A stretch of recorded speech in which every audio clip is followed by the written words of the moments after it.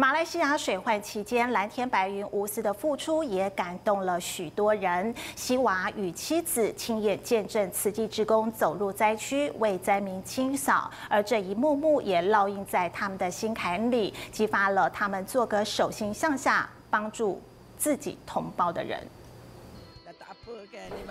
慈济人在水患付出的身影，在慈济会员西瓦心坎里久久抹不去。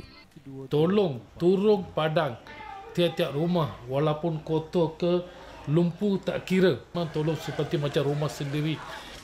Cefen gandong, cuci ta geng ren qing yu touru ziyuan huishou. Saya nampak di mana-mana botol kosong sekarang.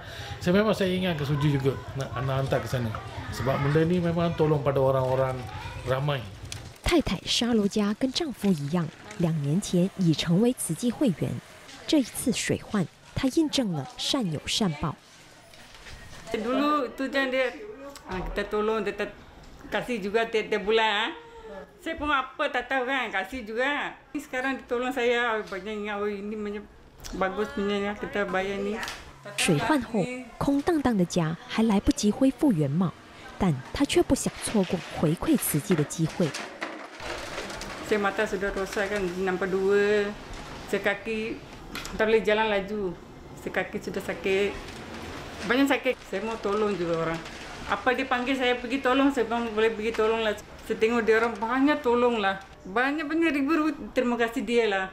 领取祝福金当天，他不忘带着竹筒来布施，付出与回报形成善的循环。沙罗加幸福的笑容蕴含着这一份体悟。大爱新闻记者林远军马来西亚报道。